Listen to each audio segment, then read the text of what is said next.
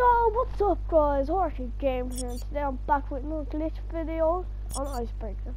Sorry for not posting for the past one. Um, I had a bit of stress. So yeah. Now, sh massive shout out to the Ice Glitch for every single one of these glitches.